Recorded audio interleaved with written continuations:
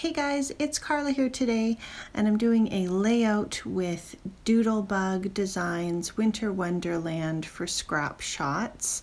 Scrap Shotz is an online Canadian store, and we're looking at this beautiful paper pack uh, and stickers that are coordinating, and then we have the odds and ends, which are uh, die cut ephemera pieces. We've got some Wild Whisper sequins and a Marvy snow marker.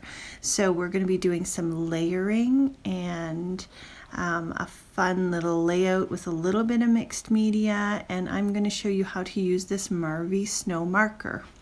So uh, this is really easy, um, really fun. You just basically shake up this snow marker and we're just applying it to whatever areas you want to have the snow on. So you can see I've got a coat on here. And if your marker isn't flowing freely, make sure to put it on a separate uh, tissue or paper towel and you can push it down and there will be a bunch of paint that's released.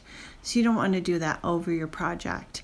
I'm not actually pushing hard when I paint this on, I'm actually going quite light and the paint is still flowing out. Now, of course, if you wanted a thicker coat, you could go ahead and plunge that down and take a paintbrush and paint something on if you had a larger area.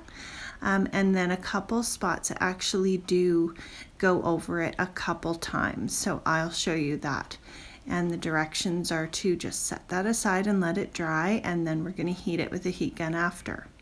So I've got a piece of 12 by 12 white cardstock and I've got some Distress Oxide sprays. So we've got Dusty Concord and Seedless Preserves. Those are the two purple ones. And then we've got uh, Peacock Feathers, which is the greenish blue one there.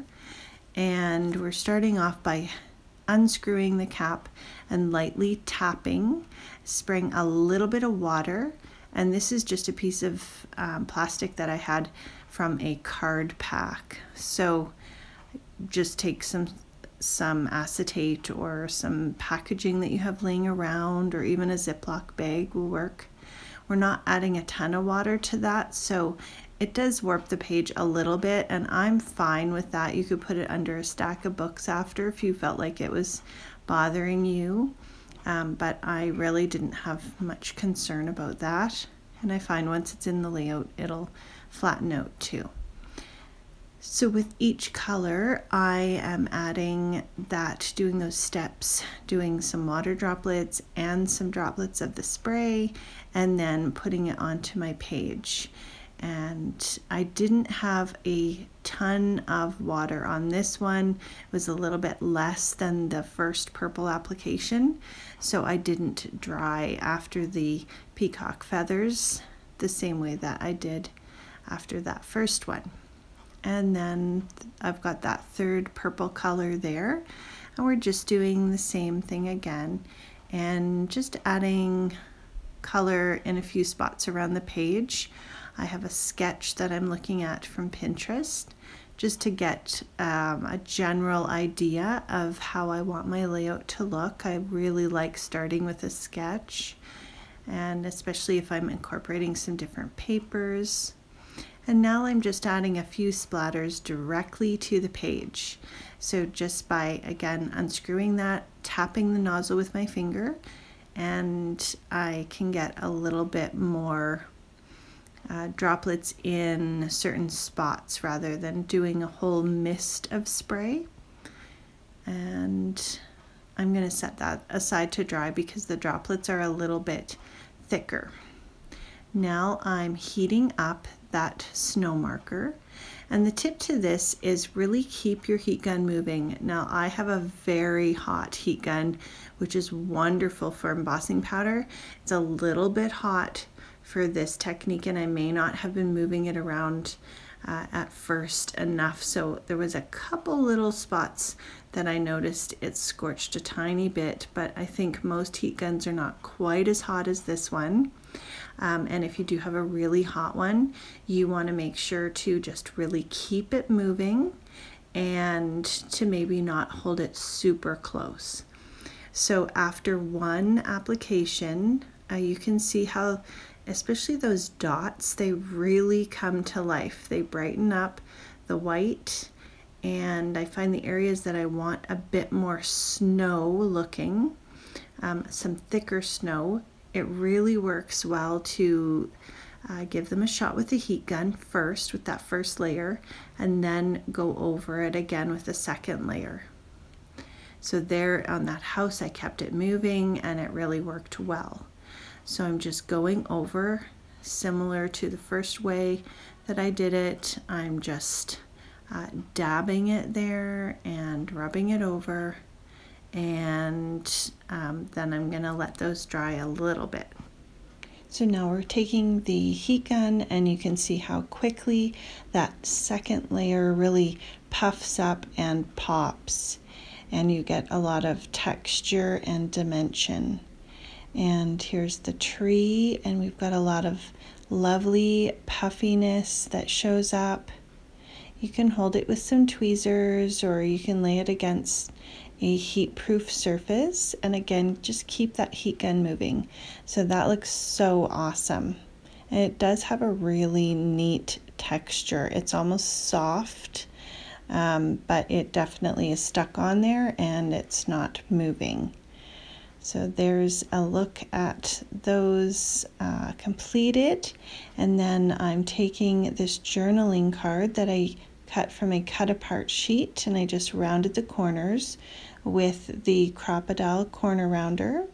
And now I'm taking some Distress Oxide ink. This one is Vintage Photo. Uh, any brown would work, and this brown wood-like paper is from the paper collection pack. And then this strip is from a piece of the 12 by 12 strips uh, that you cut apart.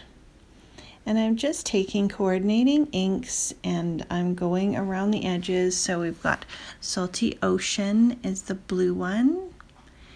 And it just gives it a little bit of um, a shadow around the edge there. The purple is Wilted Violet. And then this greenish blue is Evergreen Bough. So they're all nice colors that really coordinate nicely with this color pack. And I'm just drying the drips on that paper and I dabbed some of them with a tissue. And then I'm laying out my layers of paper. So what I find is easier is when I have the papers cut to the size I want, whether you're just cutting them or you're going by a sketch, then I'm laying them all out because sometimes you want to move them around and if you glue them down without kind of knowing where you're going with them sometimes you have one that's not really in the right spot and um, you kind of have to work with that. So if you get them laid out, then you can start gluing from the top down. And I find that this is the easiest way for me to do it. I am using a liquid glue. I'm using the Art Institute glitter glue. I really, really like this glue and Sandy does have this in the Scrap Shot store. You can also buy this attachment that I have on the top. It's a little metal a very fine um, glue attachment. It just screws on right to the top of it. You've got a little pin that you can pop right in the top of that. And then you have a really fine uh, nozzle to take your glue out of and it's a fairly small nozzle anyways if you don't want to have that metal attachment. But if you're gluing lots of little fine pieces and I use this for my sequins as well you really do appreciate having that really fine nozzle.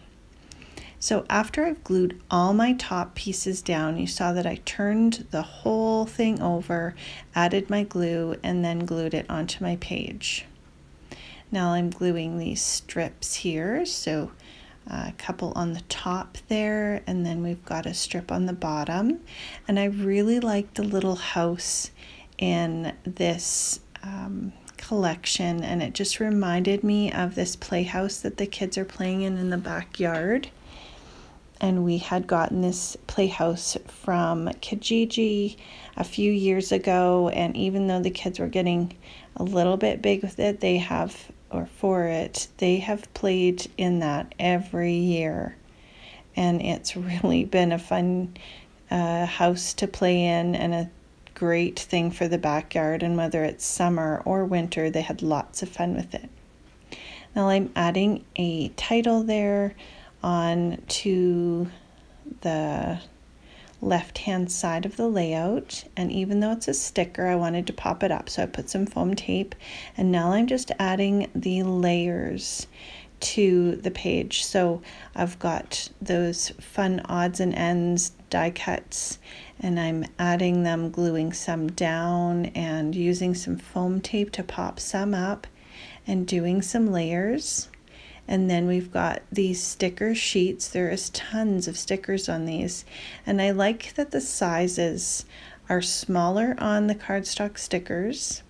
So you've got really tiny animals and really little snowflakes. And you've got some hearts. And then the odds and ends ephemera are really uh, quite a bit bigger. So you have lots of sizes to choose from and you can really mix and match those easily. So I'm adding on different um, stickers and snowflakes and I think once you get your base layer down then you can start really layering. We've got this tab sticker here and then I stuck another sticker in behind and you can really have fun have fun with these. I'm adding foam tape on some of the elements to pop them up. So the snowflake is there, the larger one popped up, and we have the smaller ones beside it.